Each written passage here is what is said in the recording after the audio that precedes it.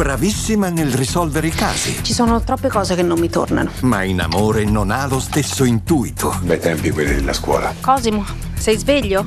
No. Scusami, ogni volta che il tuo letto è, è vuoto e ci devi infilare qualcuno. Per me il lato del letto vuoto mi dà ansia. Eh, è un Brunello. Bene, bravi.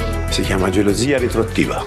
Retrattiva di cosa? E gliel'ho detto non si è mai fatto niente, però lei non ci ha mai creduto. Vanessa Incontrada è Fosca Innocenti, prima assoluta da venerdì 11 febbraio su Canale 5.